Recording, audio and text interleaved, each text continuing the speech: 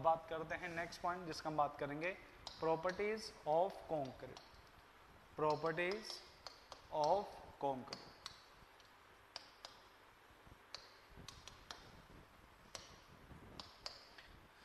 चलिए। तो सबसे पहला प्रॉपर्टी और इम्पोर्टेंट प्रॉपर्टी जिसको हम डिस्कस करेंगे, वो आपके पास है वर्केबिलिटी क्या है? वर्केबिलिटी ठीक है? क्या है? वर्केबिलिटी चलिए। पहले मैं एक बार लिख देता हूँ, फिर आपको इसको एक्सप्लेन करता हूँ। देखो, अगर आप किसी से ही पूछोगे भाई वर्केबिलिटी क्या है तो वो आपको एक ही चीज़ बताएगा। वो आपको एक ही चीज़ बताएगा। It is refer to it is refer refer as ease of work with concrete. Ease of work with concrete known as known as workability सब लोग यही कहते हैं मतलब अगर आप 100 लोगों से पूछोगे तो 80 लोगों का आंसर आपको यही मिलेगा। इरिगेशन भी खत्म हो गया क्या सर इरिगेशन ये कब स्टार्ट किया? है भाई सरफराज, ये तुमने कब स्टार्ट किया? रिवीजन कर रहे क्या तुम? है भाई रिवीजन थोड़ी ना कर रहे।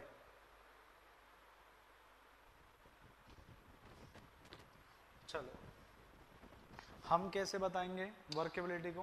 कि भाई वर्केबिलिटी क्या होता है? ठीक है, उसके बारे में हम कैसे बताएँगे? कहेंगे workability is workability is the is the is with is with concrete can be can be mixed can be mixed, transported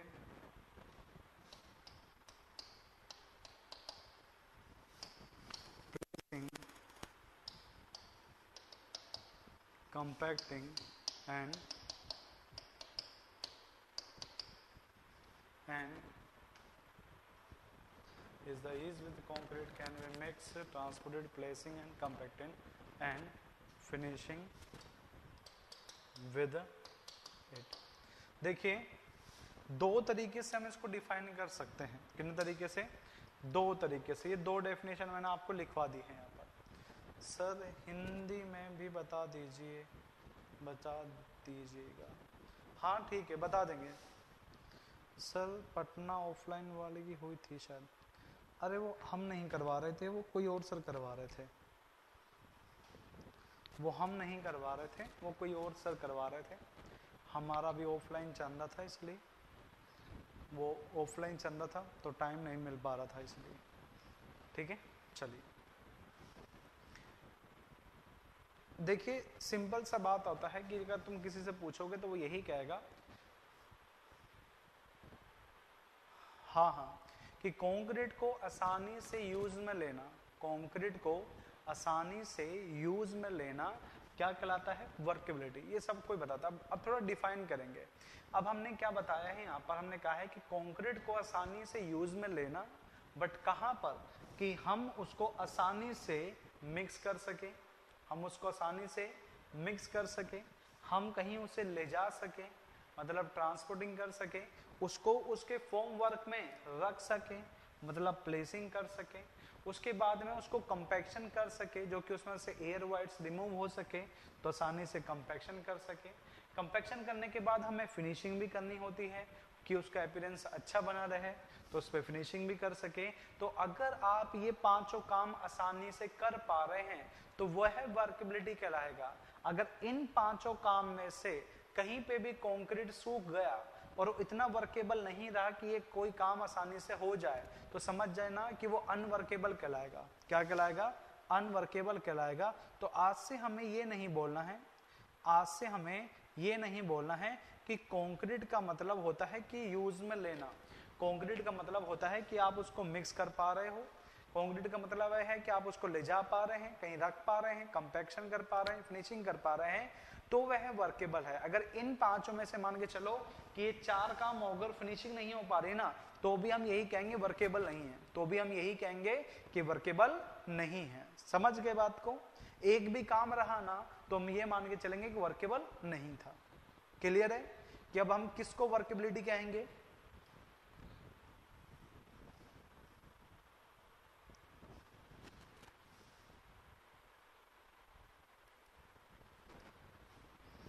हाँ मार्च में करवाया था। मार्च में नहीं, मई में।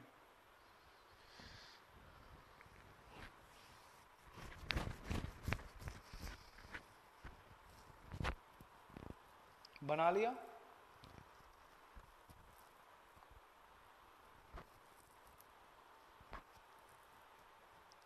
थर्टी फाइव से फोर्टी।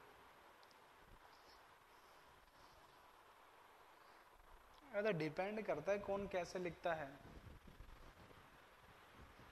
ये नोट कर लिया क्या? ये नोट कर लिया आपने?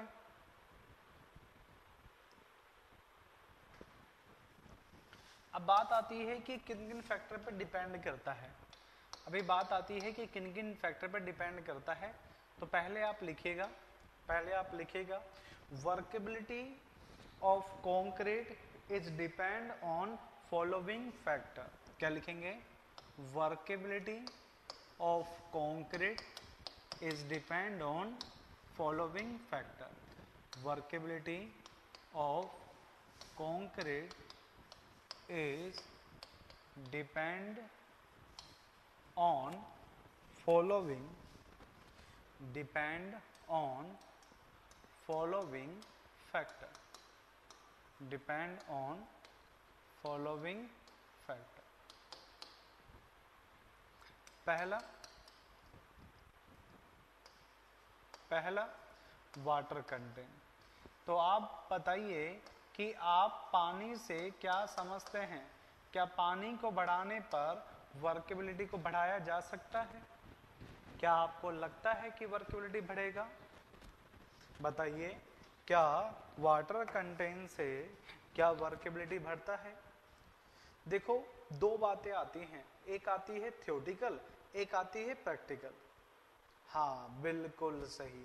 ये सही कहा। बढ़ेगा बट एक लिमिट तक। बिल्कुल सही बात कहा।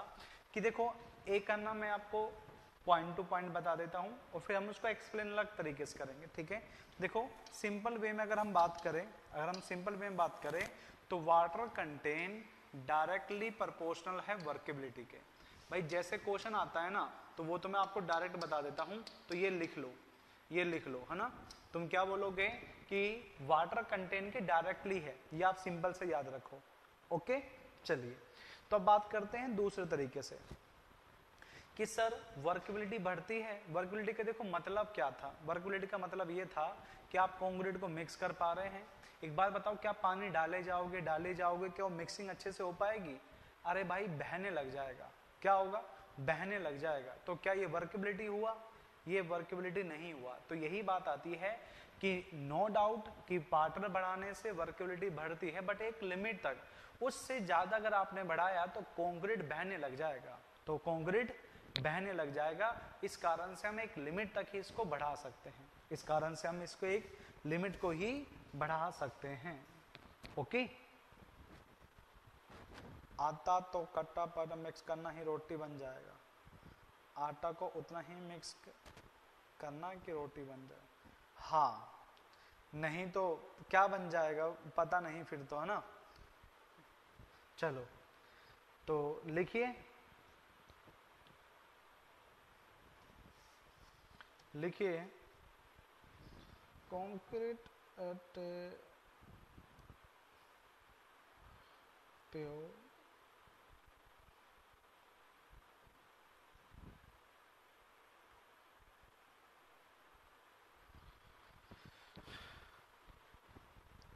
ठीक है? चलो, लिखिए। Only addition of water only addition of water only addition of water has no no affect over workability no effect only workability. Over over workability.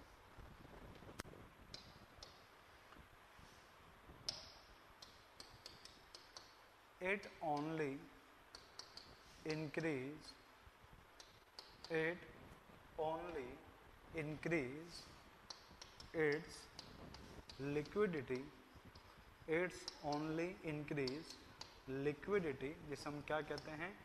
जिसे हम फ्लोडिटी भी कहते हैं। With its only increase liquidity of concrete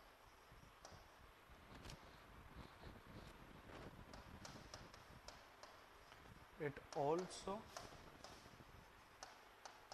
reduce the strength of concrete.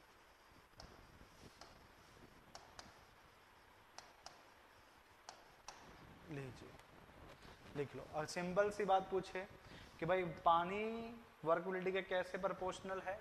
तो directly proportional है but याद रखना only पानी बढ़ाने से सिर्फ़ तुम्हारा लिक्विडिटी बढ़ता है वर्केबिलिटी नहीं बढ़ता। लिक्विडिटी क्या होता है कि कंक्रीट के साथ में बह जाना। कंक्रीट के पानी के साथ में कंक्रीट का बह जाना, वह लिक्विडिटी कहलाता है। और जब ऐसा होगा तो तुम्हारा जो कंक्रीट का स्ट्रेंथ है, वह भी कम होगा, वह भी कम होगा। फ्लो करने की एबिलिटी बिल्कुल सही। फ्लो शाबाश। ठीक है? तो अगर आपको पानी बढ़ाना है तो एक लिमिट तक ही बढ़ाएँगे। एक लिमिट तक ही बढ़ाएँगे, जैसा कि आपके पास कोड में डिस्कस कर रखा होगा। जैसा आपके पास कोड में डिस्क कर रख, डिस्कस कर रखा होगा उतना ही हम इंक्रीज करेंगे। ठीक है?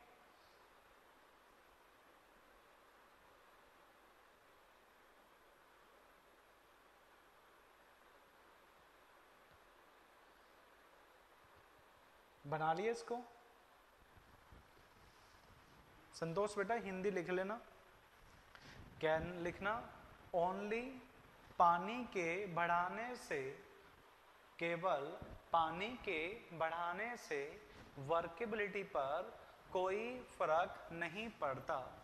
परंतु कंक्रीट की, परंतु कंक्रीट की लिक्विडिटी बढ़ जाती है, जिसके कारण जिसके कारण कंक्रीट पानी के साथ बहने लग जाती है, जिसके कारण कंक्रीट पानी के साथ बहने लग जाती है और हमारे स्ट्रेंथ को रिड्यूस करती है और हमारे स्ट्रेंथ को रिड्यूस करती है।